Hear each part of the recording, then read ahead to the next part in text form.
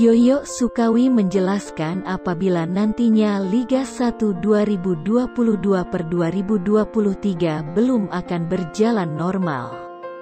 Kompetisi bakal dilanjutkan dengan pembatasan penonton. Barulah ketika semua berjalan lancar maka penonton dapat kembali memenuhi stadion. Yoyo Sukawi menargetkan hal itu terjadi pada tanggal 25 sampai 26 November tahun 2022. Tanggal 7 November itu mulai kick-off pertama, kata Yoyo Sukawi, dilansir bolasport.com. Nanti uji coba pertandingan dengan penonton dikelompokkan di berbagai venue. Tanggal 25 atau 26 targetnya kompetisi kembali full penonton 100%, ujarnya. Sebelum kita lanjut, jangan lupa subscribe dan aktifkan notifikasinya, like dan share ke teman supporter lainnya.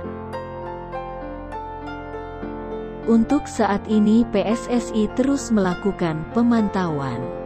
Pemantauan tersebut bertujuan untuk mencari venue yang memenuhi standar dalam menggelar Liga 1 2022 per 2023 baik dari segi supporter ataupun keamanan. Jadi mulai tanggal 7, awal November sudah mulai jalan tapi belum semuanya. Baru tanggal 26 full dengan penonton, dianggap sudah harus siap, tuturnya. Sementara itu, Liga 1 2022 per 2023 sudah terhenti. Yang paling siap mana misalnya di Solo, Solo dicoba dulu dengan penonton, ucap Yoyo Sukawi. Suporternya sudah tertib belum? Keamanannya sudah aman belum seperti itu?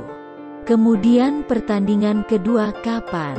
Sejak tanggal 1 per 10. Hal tersebut merupakan buntut dari adanya tragedi Kanjuruhan yang menelan korban jiwa sebanyak 132 orang. Sebelumnya pihak PT LIB sempat menyebut jika Liga 1 ditunda sepekan.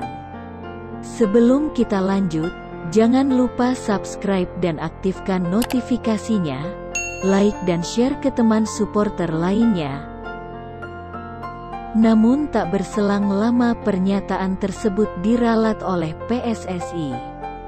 PSSI mengabarkan apabila kompetisi dihentikan sampai waktu yang tidak ditentukan.